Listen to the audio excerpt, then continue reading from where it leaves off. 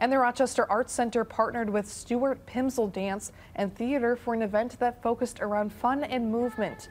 The Families in Motion program teaches kids and adults to express themselves without using their voices and introduced interactions in ways we don't normally do every day.